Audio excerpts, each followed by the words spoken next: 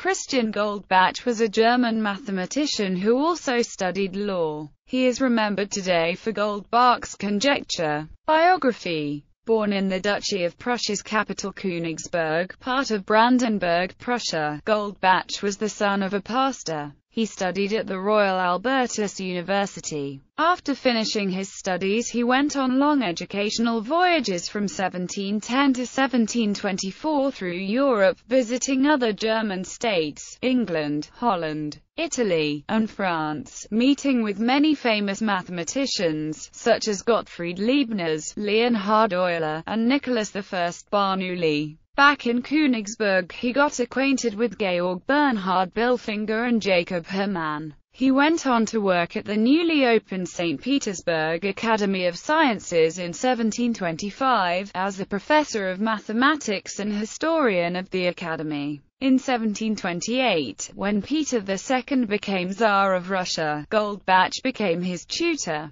In 1742 he entered the Russian Ministry of Foreign Affairs. Christian Goldbach was multilingual. He wrote a diary which was written in German and Latin. His letters were written in German, Latin, French, and Italian and for official documents he used Russian, German and Latin. He died on November 20, 1764 at age of 74, in Moscow. Contributions Goldbach is most noted for his correspondence with Leibniz, Euler, and Bernoulli especially in his 1742 letter to Euler stating his Goldbach's conjecture. He also studied and proved some theorems on perfect powers, such as the Goldbach-Euler theorem, and made several notable contributions to analysis. He also proved a result concerning Fermat numbers that is called Goldbach's theorem. Works. De Transformatione Serierum. De Terminis Generalibus Serierum.